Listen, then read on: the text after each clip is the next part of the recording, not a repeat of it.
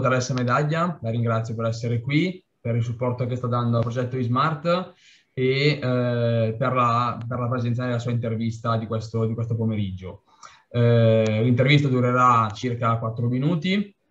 La prima domanda che vorrei porle è di eh, presentarsi brevemente il suo ruolo e le sue attività all'interno della provincia di Brescia. Prego.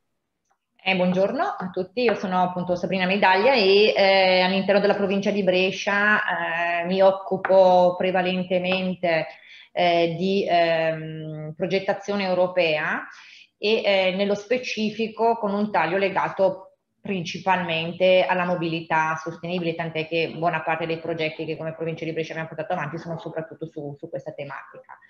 E eh, mi occupo anche dell'aspetto turistico e statistico. Perfetto, ringrazio. Andiamo nel eh, clou dell'intervista, questa breve intervista. Le faccio la prima domanda che è eh, relativa all'importanza del TPL, quindi trasporto pubblico locale all'interno del territorio e delle difficoltà che si possono incontrare eh, per quanto riguarda la diffusione e il sostegno alla mobilità sostenibile. Prego. Eh, vista la, la, conformazione della provincia di Brescia, che, che, è molto ampia, sicuramente il fatto di avere un trasporto pubblico locale effic- efficace ed efficiente fa sicuramente la differenza.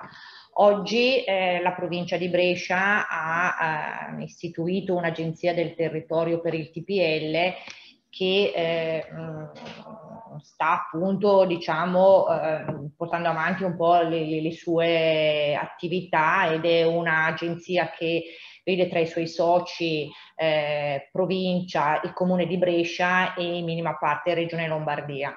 Eh, l'intento appunto è quello attraverso questa agenzia di eh, rendere più performante quello che è il servizio di TPL.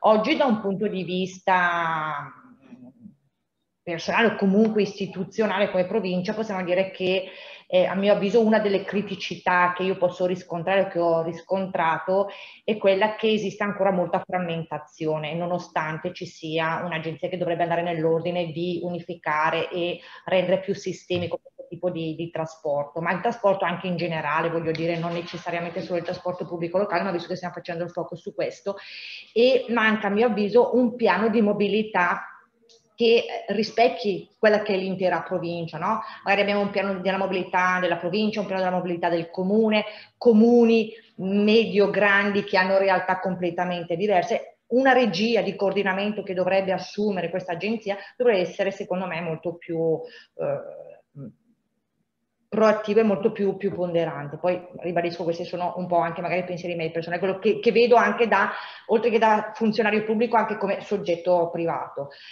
Poi un altro deficit è un po' anche la carenza di infrastrutture o comunque infrastrutture non performanti o infrastrutture che ad oggi si auspica anche con l'arrivo del 5G abbiano delle funzioni, eh, cioè di digitalizzazione e di innovazione molto più mh, mm, determinanti su, su questo aspetto collegamenti anche eh, difficili, se possiamo chiamarli così di ultimo miglio, mi viene da pensare cioè, a queste eh, zone della provincia di Brescia molto periferiche, aree dislocate, perché comunque la provincia di Brescia come dicevamo è molto grande ma con realtà molto differenziate, penso alle zone di montagna piuttosto che a quelle ultimo miglio dove è difficile dare un servizio, ecco il servizio di TPL lì è ancora molto, molto ridotto. un altro aspetto che secondo me è importante da prendere in considerazione il fatto che non si ragiona anche in termini di un trasporto ehm, eh, ehm, condiviso, cioè il concetto di, di car sharing, carpool mm. è, è, veramente ehm, forse quasi inesistente e non c'è mai stato neanche un approccio per fare un'integrazione tra quello che può essere il servizio di TPL e quello che può essere questo tipo certo. di servizio.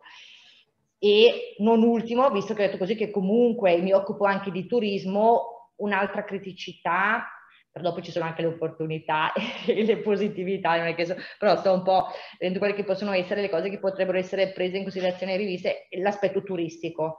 Cioè noi come provincia di Brescia abbiamo veramente dei poli di interesse culturale molto molto interessanti e molto copiosi, che determinano ovviamente una domanda di trasporto turistico abbastanza elevata e anche lì secondo me c'è un po' di, eh, di di deficit sarebbe una, una cosa da, da, da, prendere in considerazione. E chiudendo, poi magari passiamo all'altra domanda, il fatto che ehm, abbiamo bisogno di dati, dobbiamo raccogliere dei dati che ci permettano di leggere quello che è eh, il nostro territorio, cioè conoscere per fare strategia. Se noi non abbiamo questi elementi, ovviamente diventa sempre più difficile. Adesso ci auspichiamo che anche con l'arrivo di tutti questi soldi dall'Europa magari ci sia una particolare attenzione, ma Brescia si sta già muovendo in questa direzione, nel senso che la provincia di Brescia è anche parte di un tavolo che, di cui fa parte Camera di Commercio, Comune di Brescia, tutte le realtà veramente, gli stakeholder della provincia, che è il centro di sviluppo sostenibile, che ha eh, come scopo, come mission, quella di fare un piccolo piano di recovery al loro interno per vedere quelle che sono le esigenze certo. Che poi andare a pianificare gli interventi. Perfetto, molto, molto interessante, molto, molto interessante davvero.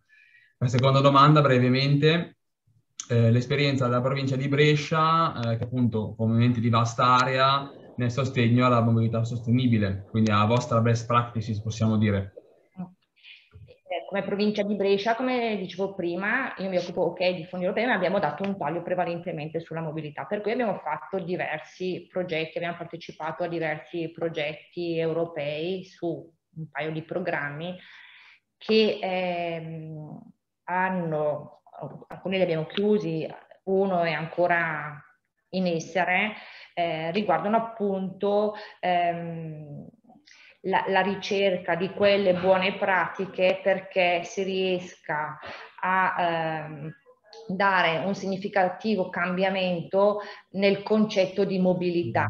Mobilità che vada nell'ordine di tutelare e salvaguardare quello che è l'ambiente e quindi di eh, anche modalità di, di mh, energie alternative, di, di combustibili alternativi che ok sono l'elettrico, ma come provincia di Brescia eh, una delle nostre best practice è quella appunto di fare, stiamo facendo un'analisi anche sulle tipologie di eh, alimentazione, non solo elettrico, ma guardando anche all'idrogeno.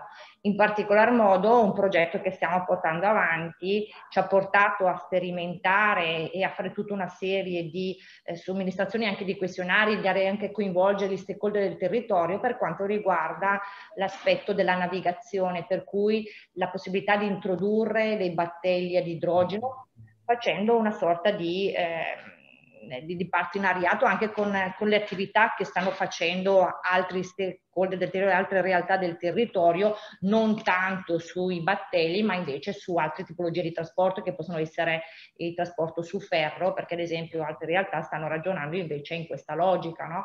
Per certo. cui queste fonti alternative eh, di, di, di, alimentazione, cioè con una logica appunto improntata all'abbattimento del CO2, che sono poi tutti questi obiettivi che stiamo cercando, che l'Europa, tutto il mondo sta portando avanti con la, la Commissione sul clima. Ecco, queste sono poi, poi dopo cioè ci stiamo muovendo anche su progetti che eh, guardino invece più l'aspetto di utilizzo di mobilità in car sharing, quello che dicevo poc'anzi, in alcune zone della Valle Camonica, sfruttando dei finanziamenti, delle progettualità finanziate dal Ministero dei Trasporti su un progetto casa scuola, casa lavoro, quindi cioè, ehm, disseminare questo concetto di utilizzo del, del mezzo oltre che elettrico anche in forma aggregata per abbattere comunque gli inquinamenti, la congestione del traffico e comunque conoscere realtà alternative alla classica mobilità, diciamo. Certo, certo, che questo è molto interessante. Eh, io lo ringrazio per il, per il, sostegno e per l'intervista e spero di vederla nei prossimi eventi di Smart. Perfetto, grazie a voi e buon lavoro. Salve. Okay.